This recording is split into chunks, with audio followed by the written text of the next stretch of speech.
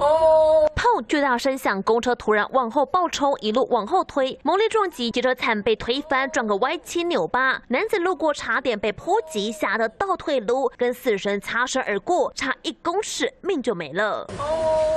惊悚画面，换个角度看，当时男子送货，准备进到酒商，突然一声巨响，吓得回头张望，不到一秒钟，公车车尾撞击骑楼，撞回天花板，机车跟着飞喷，吓得他立刻往后奔逃跳开。他正好要开门，就听到轰轰轰轰非常大声，转眼一看，公车这样子撞进来，我就赶快跳开，不到一只手臂的距离，同事就跟我说，快去收集，拜拜。嘣，很大声，我以为是对面爆炸，他是要回来，要回进去了，不知道为什么要倒退路。撞进来，吓到了，到现在还在皮皮撞。现场一片狼藉，天花板全毁，管线外露，摇摇欲坠，地上满是油渍。事发在五号中午，台北市信义区松德路，三十五岁的蔡姓司机原本将公车停放在总站门口临停区，下车忘记拉手刹车，导致车向后撸三十公尺，撞进对向骑楼，撞断公车站牌，卡在超商、旧商中间，动弹不得。对驾驶员来做移除，并且去加以辅导。对商家的损坏，我们会在。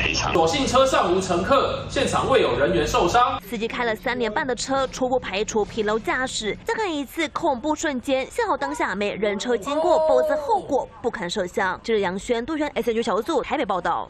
我是哈远怡，我用说故事写自己的人生故事。有争议的拿证据说，被掩盖的挖出来说，非主流观点我有勇气说。